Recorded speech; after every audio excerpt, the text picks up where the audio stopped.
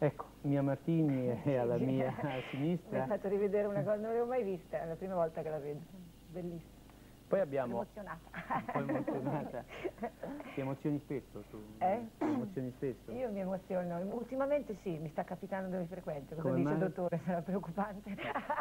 Perché ti Però emozioni? proprio da quando sono stata a Sanremo è un'emozione continua. Quali sono le cose che ti fanno emozionare di più? E sapere di riuscire a emozionare mm, tanta gente. Infatti c'erano alcune Sì, loro- loro poi- avvertivano dei brividi. Presentiamo i nostri altri ospiti. Abbiamo, vediamo invece Mietta, che Mhm. è un po' più avanti, ovviamente di Angela, Certo, e forse pochino. leggermente più Pochino. indietro, scusa, di Mia Martini. Ecco, È molto più indietro. anche se poi hai vinto a Sanremo praticamente. Come hai cominciato tu? Non È terrorizzata, niente è terrorizzata Scusami, dal suo successo. vincere un Non è festival un di Sanremo non significa niente? E che significa moltissimo. Lei dice che non moltissimo. significa niente.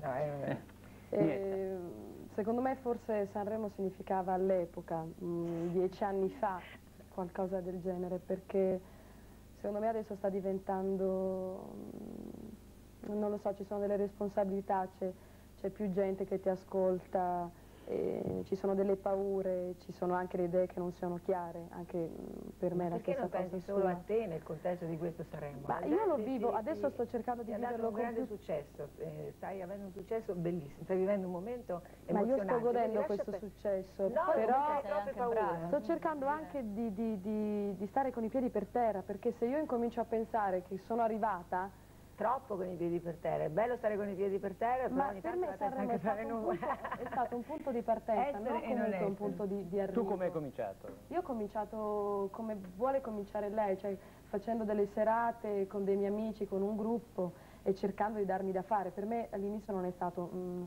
un- una carriera voluta per passione. Tu hai stato un 19 gioco. anni, mi Sì, dicevi io ho prima, 19 e hai anni. cominciato 4 anni fa, quindi. Sì. Dove? A Taranto, la tua città di Sì, origine? mm, ho cominciato a Taranto con dei miei amici, abbiamo formato questo gruppo e niente, siamo andati in giro a fare delle serate.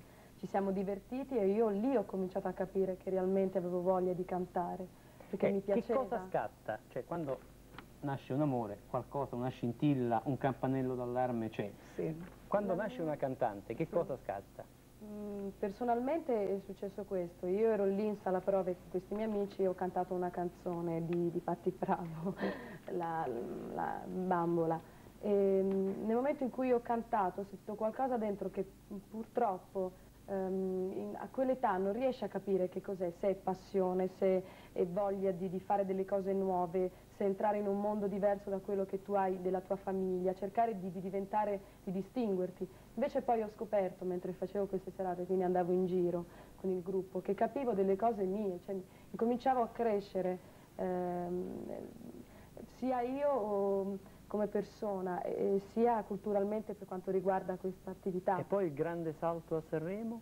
È avvenuto molto più semplicemente di quello che uno si aspetta. Ho fatto un concorso che ho vinto, mh, era bandito dalla Fonicetra, Radio Corriere, Rai era eh, su normale. Radio 1. Sì, un concorso normale, ho vinto, e, mh, mi sono improvvisata attrice. Infatti ho cominciato a- ad assimilare dai miei, mh, dalla gente che mi stava attorno, il tipo dei doppiatori italiani che mi hanno aiutato. Come sono i giovani che incominciano e che, come appunto Mietta, già fanno bene? Cioè, c'è una preparazione? Sì, c'è una preparazione. Eh, Mia- c'è- un Mietta- ricambio anche Sì, generazionale, Mietta, secondo devo te? dire che è molto brava, molto intelligente, è una ragazza molto sensibile. Secondo me dovrebbe togliersi un po' di, di paure, dovrebbe essere un pochino, soltanto un pochino più rilassata.